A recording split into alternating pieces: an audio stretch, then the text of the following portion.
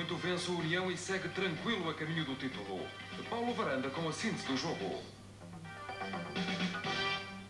No estádio dos Barreiros, no Funchal, o Futebol Clube do Porto foi rei e senhor num jogo pouco interessante. A primeira grande oportunidade com a Madjer, que na transformação deste livro direto poderia ter colocado o Futebol Clube do Porto na posição de vencedor.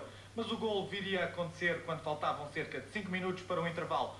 Falha da defesa madeirense, o passe de Madjer e Jaime Magalhães a rematar sem hipótese de defesa para o guarda-redes Pimenta. Como podemos ver na repetição, Jaime Magalhães rematou à vontade, sem oposição de nenhum defesa da casa.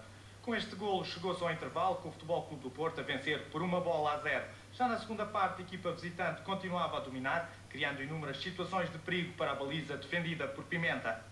União atacava pouco e quando conseguia fazer, geralmente os resultados eram negativos. Aos 77 minutos, o Porto viu aumentada a sua vantagem com um autogol do capitão Mota. O centro de Jaime Magalhães e Mota atrair o seu próprio guarda-redes e a estabelecer o resultado final. 2-0 favorável ao Futebol Clube do Porto.